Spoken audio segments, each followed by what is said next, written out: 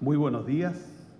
Quiero saludar con especial afecto a los familiares y amigos de don Alejandro Ales Jamarne y a los invitados especiales que nos acompañan esta mañana. Es para mí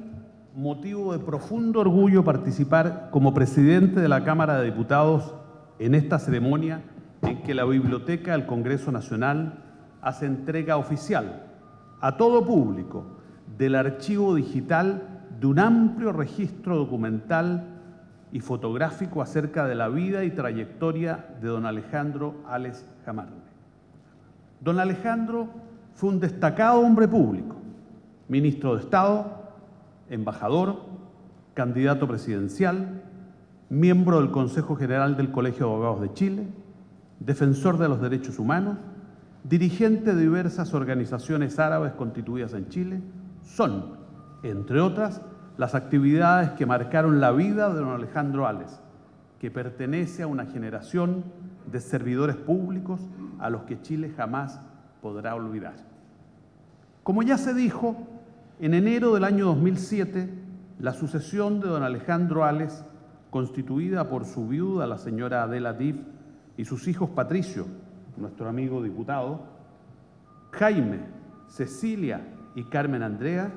hizo entrega a la Biblioteca del Congreso Nacional del Archivo Histórico Alejandro Ales.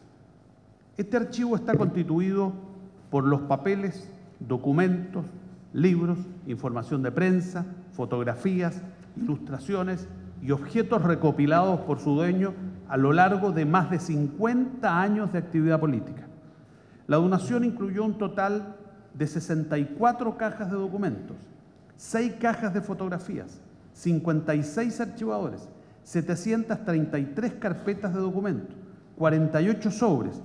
22 álbumes fotográficos, 20 objetos y 1.137 publicaciones entre libros, revistas y periódicos.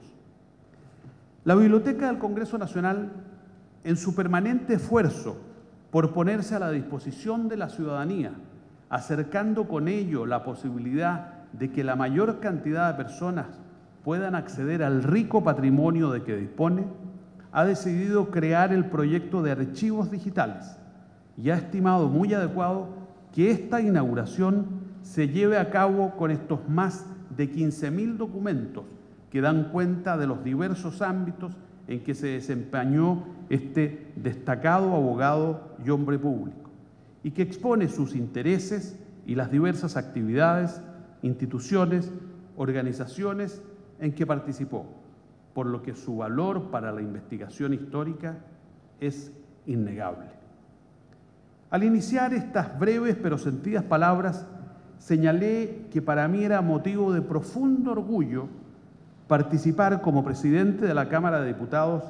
en esta ceremonia. Y quiero decir que lo es,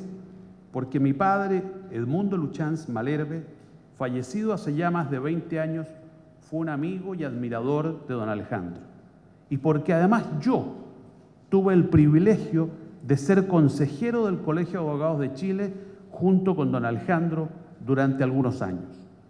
Y ahí yo pude aquilatar directamente, sin intermediarios, el encanto y la potencia de su personalidad, que irradiaba unánime admiración y respeto. Agradezco nuevamente a nombre de la Cámara de Diputados a la familia de don Alejandro Ales la donación de este valioso material